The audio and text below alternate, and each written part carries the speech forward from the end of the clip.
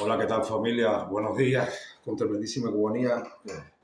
Le doy la bienvenida acá a mi canal, como ya se ha hecho habitual para hablar un poquitico desde una primera persona, de un enfoque personal sobre diferentes temas eh, que pudieran ser de interés para ustedes. Ah, yo soy Yuke, le doy la bienvenida a los que están por primera vez acá a mi canal Yuke Arte, un canal eh, muy espontáneo, en donde eh, siempre trato de, de, poner a consideración de ustedes un tema de interés. Hoy quisiera hablar del icono olvidado.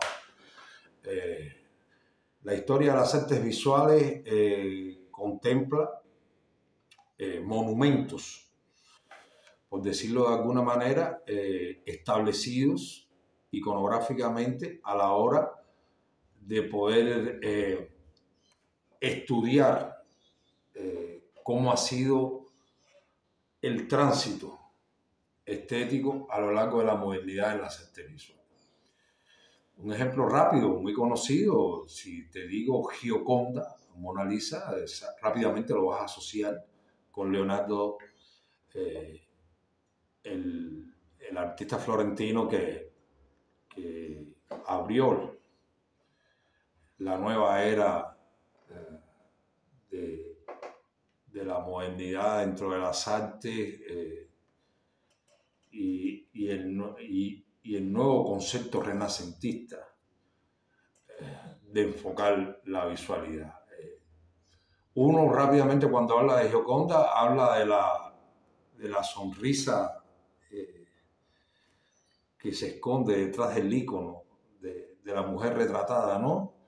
Pero sin embargo, esto es una atrofia, realmente eh, ahí no radica la trascendencia de esta pieza monumental en la historia de las artes visuales, radica en el uso por primera vez de la perspectiva, perspectiva, dicho bien, eh, dicho bien, eh, atmosférica, o sea, los diferentes procesos que utiliza el artista para por primera vez en la planimetría dar una sensación una sensación de, espaciado, o sea, de los diferentes planos que pueden configurar eh, la estructura iconográfica de una pieza. Hoy es imposible de no hablar perspectiva, de perspectiva atmosférica eh, a la hora de nosotros eh, abordar el plano, pero antes de Leonardo todo era planimétrico.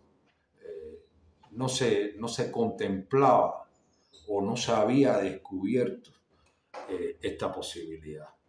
Hay otros iconos como el grito de Munch, el beso de Gustav Klimt, eh, la Marlin de, Andy Warhol, eh, en fin, etcétera, etcétera, etcétera. Pero hay algunos artistas que en su momento han logrado incluirse dentro del concepto de iconos, dentro de la visualidad, y en el día de hoy eh, prácticamente son artistas eh, eh, que, usted los puede descubrir, o sea, como en mi caso, yo no conocía el trabajo de este fotógrafo que les presento aquí ahora, Edward Wexon. Se lo presento acá. Weston, ah, con su trascendental Piper número 30, o sea, eh, pimiento número 30, eh, creó una nueva era dentro de la fotografía. Según estuve leyendo, a raíz de un trabajo que estaba haciendo, que también se los presento acá, que ya lo he publicado en red. Este trabajo que estaba haciendo acá en Losa, eh, me da por eh, indagar un poco sobre el uso del pimiento ¿no? dentro de la visualidad y descubro una serie de cosas. Eh, y dentro de ellas, para mi agrado, la obra iconográfica iconoclasta de este fotógrafo trascendente que se llama Edward Wexon.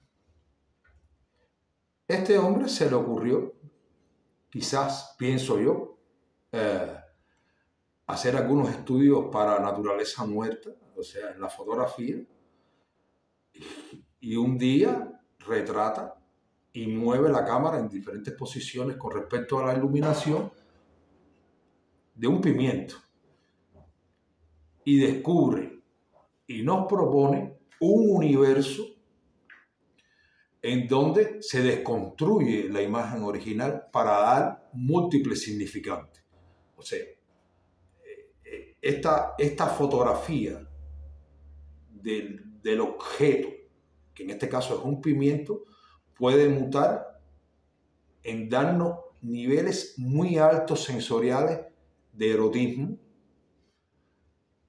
del uso de, la imagen icónica femenina de la mujer asociada a la morfología del pimiento que eh, logra crear una cátedra a partir de ese momento, estamos hablando del año 1930, el primer cuarto del siglo XX logra crear una, una cátedra en cuanto a la desconstrucción del objeto en múltiples significantes.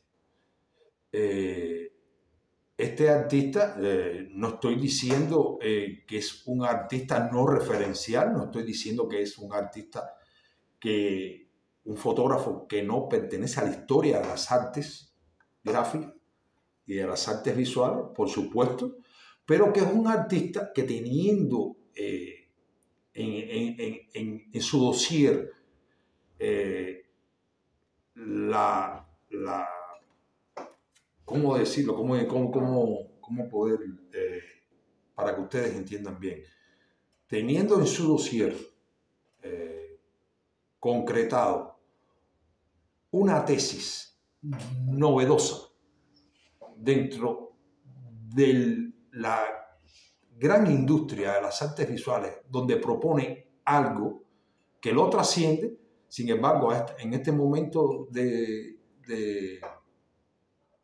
en que vivimos nosotros, que nos movemos nosotros como artistas, muchos artistas donde yo me incluyo, lo desconocían totalmente. O sea, a mí nadie en la escuela, y yo estudié fotografía, o sea, eh, eh, yo soy de formación académica publicista y yo di dos semestres de fotografía con uno de, de los monumentos de la fotografía eh, en Cuba, el doctor Carulla, uno de los que de paso eh, lo recuerdo en este momento eh, a través de este contacto para traerlo a este presente porque fue uno de los pioneros de la fotografía a color, o sea, de los que más estudió el color dentro de la fotografía en el gremio de fotógrafos de su tiempo dentro de la isla.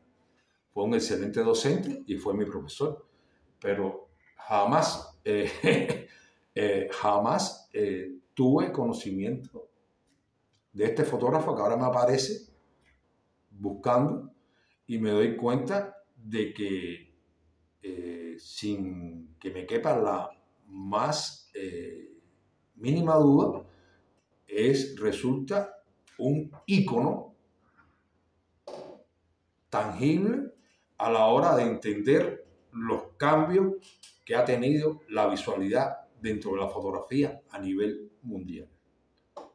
Weston es un ahora y un después. Él cambia el concepto de la fotografía a nivel global. Es un referente que me, que me complace mucho traer acá en este momento y de paso apoyarme en esto, felizmente, para brindarle un abrazo eh, fortísimo, cargado de tremendísimo respeto a la fotografía cubana, que a mi criterio está repleta de valores, de valores y de íconos que serán estudiados por generaciones posteriores de artistas cubanos. Eh, pienso que haya sido interesante este breve contacto con usted. Ya tengo que ponerme a trabajar y los veré una próxima vez para hablar sobre algo interesante dentro de las artes visuales. Ha sido muy grato para mí este pequeño contacto con ustedes. Nos vemos una próxima vez. Recuerda, suscríbanse a mi canal Yuke Arte. Nos vemos, chao.